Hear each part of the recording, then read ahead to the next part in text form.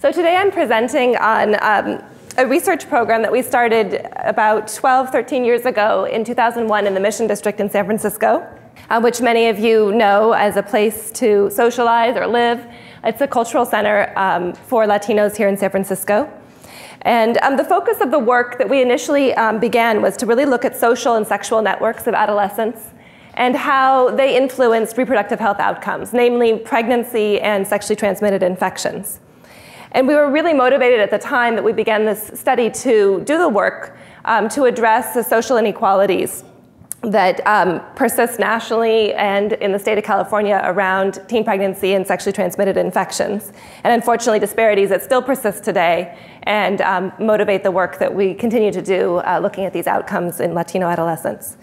And doing work um, focused around Latinos in California, and there have been se several presentations today um, focused on Latino adolescents, is really critical given the demographic composition of the state. Um, and you know, in the, the coming years, uh, Latino adolescents will continue to constitute a large proportion of the population, in fact, the majority. Though the work was funded to look at sexually transmitted infections and teen pregnancy, and I, my background was in reproductive health and HIV prevention, what we really came to appreciate um, in initiating the work was the role that community violence played in youth lives, in really shaping their day to day interactions with each other in the community. And then ultimately, as the work evolved, the role of community violence in reproductive health outcomes, which were constituting the focus of our work. And here is a map I've uh, carried around with me in talks for quite some time, but it still gives me pause because poignantly depicted here is one square block in the mission. This is Mission Street, 17th and, uh, 17th and 18th Streets. And we were doing an activity where we asked youth to draw their neighborhood.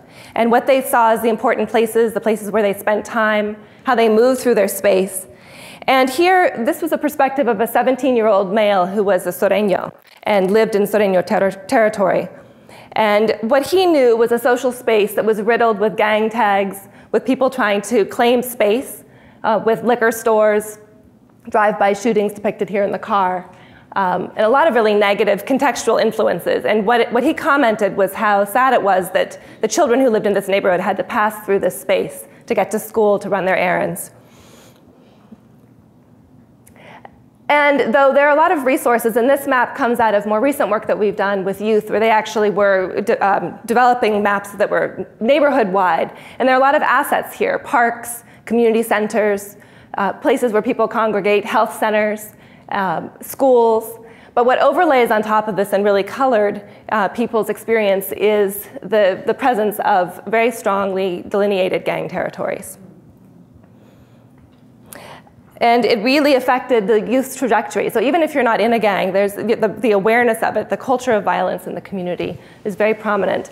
And young people may think about this in choosing the way that they walk to school and the clothes that they wear, and ultimately the, you know, the trajectory that they have through adolescence and into adulthood. I want to say, though, that you know, most, most youth are not in a gang. And um, listening to these talks today, I kind of thought, oh, my talk is so negative. I've got, I've got all these bad outcomes. But the story is moving toward how do we learn from these and then intervene in positive ways. Um, so I, I, I, promise it won't be 15 minutes of um, bad things that kids do. It's, that's just my starting point. And it's, it's actually odd because it's something I've struggled a lot with. We're, Coco and I are starting a new project now, and often to get funding, you have to frame the risk. I mean, and that's what motivates, the, you know, the need is there. And so you go to a place where the need is, and then you're wanting to invert that and focus on, on strengths and, um, and assets that people bring. And so um, there's kind of a, a challenge, I think, in sometimes doing both. Um, in, the, in, two studies where we measured gang involvement, these were both prospective studies where we followed people over time, um, what we found is that about 10% uh, of youth report being actually in a gang. This is predominantly among males. And the, the important piece, though, is that about 40%, and sometimes it's as high as close to 50 in our studies, the youth have close friends who are in gangs. And so, so Coco at the outset of the day talked about social networks. And we know the importance of social ties and influencing people's risk environment, their choices around behavior, positive outcomes that they may have. Um, and if you look in one of our more recent studies, we also attended to thinking about gang membership within people's families. And there it's well over half of the youth in our studies, um, and these are community-derived samples, um, are experiencing a close relationship with gang affiliation. So in terms of implications for uh, youth relationships, Um, in one of the first studies that we did, a finding that stood out among uh, higher than other things was really the role of having a male partner in a gang for young women, increasing their pregnancy risk by about 90%. And there were two main factors that contributed to this finding, because you know, in addition to noting that there, you know, two bad things sort of come together here, um, we wanted to understand why. Um, again, thinking about well, what can you do about it? And one of the, the things that is, remained important um, through some of the analyses that we did was the higher levels of incarceration um, among gang involved partners, really heightening the importance of expressing intimacy in relationships. And then having a baby with an incarcerated partner is one way to achieve that. Um, and in fact, these findings are um, documented in other adult populations of women, of partners of men in, San Quentin prison as well. And then the second thing speaks to gender power imbalances. And that is that this was expressed as a male's um, partner's desire for pregnancy, exerting a strong influence on whether pregnancies actually occurred. Overall, sort of regardless of, of the uh, gang findings, um, in a study that we did with about 550 youth um, and followed for two years, we found that a quarter of the females became pregnant and I wanted to say too that it's, important finding was that most of these pregnancies were unintended. And so we tend to assume sometimes that um, pregnancies in teens are occurring in stable, more stable partnerships and that there's some sort of decision not to use contraception. Um, and in fact, what we found was that uh, on top of 75% of the pregnancies occurring in relationships where the female had previously said she really didn't want to become pregnant, she definitely didn't want to um, that a lot of the pregnancies occurred in the sort of world of sexual networks in sort of complex partnership structures. So it wasn't monogamous or serial monogamous relationships, but rather um, relationships where that overlapped in time with others, one night stands. And these um, kinds of findings were reflected in the qualitative work that we've conducted as well. Um, as one young woman commented, relationships in the neighborhood are messy. Um, and here she's speaking to what we would call concurrency, that is, relationships that overlap in time. Um, and they took the form of cheating, you know, having a main partner with friends with benefits on the side, overlapping partnerships in time, and you know, getting back together with partners um, through serial breakups. Particularly for males, street gangs shaped partnerships. Um, and this is a, a comment from a young man we interviewed, and he described she told me she wanted to be more than like fringe benefits. And I told her, well, I don't really know, because those relationships, they don't be lasting. And when they do, they feel bad. He really speaks to a disinterest here and commitment to avoid emotional vulnerability, giving the emotional um, demands of street life. Another theme that stood out was the comment that young males felt they had limited time for relationships because of commitments to the gangs, first and foremost. And finally, young men described how multiple partners bring more status with remarks such as, you have more game, you've got more reputation. from the perspective of young women, um, there were clear, in addition to the, the, finding I shared earlier around the heightened risk for pregnancy, um, street gangs definitely directly affected reproductive health risks. And this was expressed by one young woman who stated, I never had a partner who was, in a, who was a gang member, but I have seen a lot of my girlfriends who have, and they wind up pregnant or their boyfriends are in jail, and the girls are left with nothing.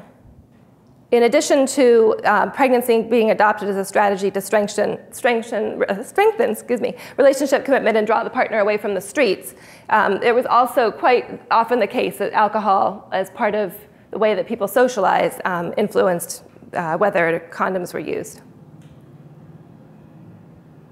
So I mean, here we've been focusing to, so far on violence within the context of relationships, but a, a, more structural influence of violence is really important to note as well. And that is uh, the effect of, of, living in a place with community of violence um, affecting the capacity to adopt preventative behaviors. Um, there's pervasive knowledge of community violence and the exposure to trauma related to that. Uh, it's walking down the street and seeing visible altars, such as this one set up for young people. Um, I can't tell you how often you walk into a community center and children are there to play basketball or to get after school tutoring, but they walk past a table with photographs and candles and other memorabilia from other young people in their immediate environment who have uh, lost their lives to violence. And um, the the issue too that I don't have time to get into today that I just want to mention is that you know the community violence is a strong influence here in the mission, but overlaid on top of that are also social disparities tied to immigration and um, other changes, economic changes within the neighborhood that you know sort of both drive the violence but also sort of perpetuate in a sense that youth don't see alternatives um, for their future. So our, you know, our work here was really to do this and then think about um, how we can move toward interventions. And what can we learn then from you know, this kind of research and about the people who have successful outcomes? And I kept thinking um, in preparing some notes for this talk about a sort of constructed participant or a young person I met whose name I'll give Fernando. I met him 12 years ago when he was just about to graduate from Mission High School.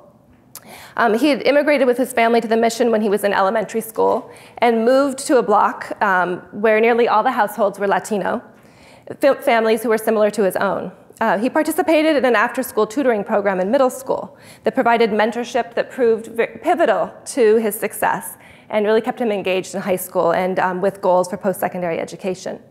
He successfully avoided the pool of gangs and demonstrated his decision not to affiliate by wearing only neutral colors. I mean, he dressed from head to toe in light gray and white. He, like many youth in our studies, expressed high educational aspirations and wanted to complete his BA. He started at San Francisco City College, yet had difficulty completing his course load and never made the transition to San Francisco State that he had hoped to make. Part of this was due to him needing to support his family through the work that he was doing at 18. Um, his, his own income supplemented his parents' earnings.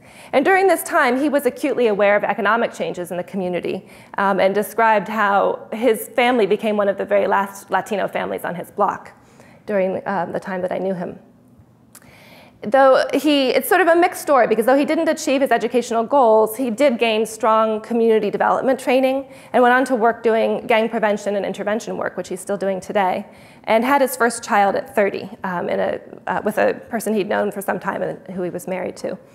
Um, so, building on the findings of our mixed methods work and recalling stories like Fernando's, we designed an intervention um, that focused on building future opportunities for youth by engaging youth within their social network of close friends.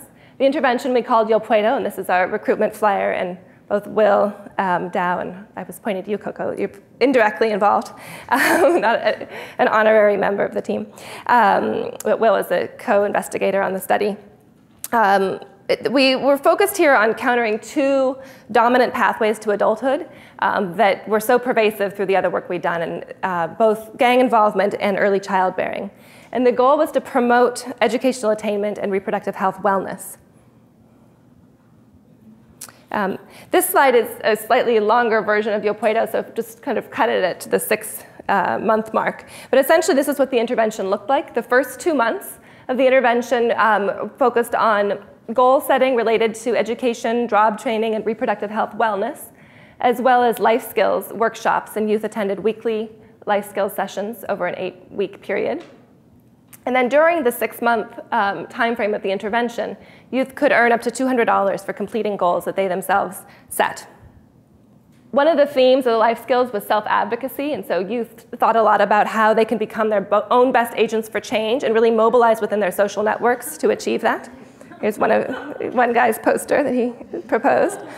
Um, and just a, a note on um, some of the effects. We were interested, in addition to a lot of feasibility questions at this stage, we were interested in looking at effects on people's social environments. Could we change the environment in which, or would the intervention have an effect on how people spent time? And then also on individual behaviors. And um, uh, in an interview conducted with several, uh, with a social network of young women who had participated, they said, summed it up by saying, we keep each other from getting knock, locked up and knocked up. And this was also echoed in the quantitative data, where we saw a 50% reduction in frequent time spent hanging out on the street. And individual behaviors, we saw reductions in alcohol and marijuana use.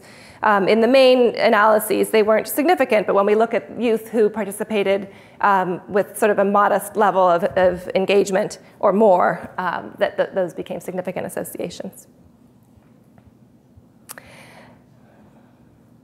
So here, um, one of the lessons that we learned through this work is that addressing opportunities for youth um, you know, building a future does offer multiple pathways to adulthood, but that we have to engage other sectors out of pub, out beyond public health, which is um, something that's been a theme today. So to this end, we've partnered with some education researchers to seek funding for um, Yo Puedo to take it to the next step. This, um, I wanted to sort of end with this health impact pyramid because it really, for me, is another visual depiction of some of the comments that we've um, had in presentations earlier today. And this is, um, was in an article several years back by the head of CDC. And really, most of the work in sexual and reproductive health has focused on you know, these top two dimensions of the, of the pyramid. That is a lot of focus on counseling and education and clinical interventions.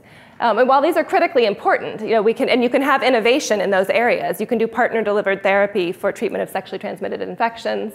Um, we still, those kinds of interventions require a lot of individual effort to achieve population impact. And so as we move down to long-lasting protective interventions or changing the context to make individuals' default decisions healthy, um, we are doing more to engage and think about the social environment. And so I'll end um, here with a slide on a study that we're just starting in Salinas to examine factors that underlie both youth violence and teen pregnancy. And whereas much of the work that I've done has been based in urban areas, there's been relatively little attention to rural agricultural-based communities. And even though the city of Salinas is um, you know, a relatively an urbanized area, the influences in people's environments are, are quite distinct from those that you might see in an urban setting. And so we're looking to really focus this work around protective factors to engage youth. And this has been an interesting discussion for me because I think some of the questions we have are what are the best ways to engage youth when you're doing a big research study like this to ensure that we have promising intervention directions um, at the end of it. So thank you.